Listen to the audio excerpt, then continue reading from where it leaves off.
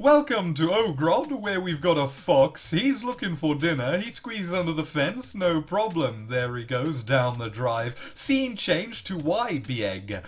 Fuck me, there's a bit of a trap behind the door. Will the fox see it, or could he get past it without, you know, alerting the elders? Fuck, there's something behind him, never mind. And he gets past the door, easy peasy, lemon squeezy. Panic stations in the chicken coop. Over at the Pod Warco scene, Sam knows that something's up. Oi, Greg, you can't fucking get over here! You're not gonna do the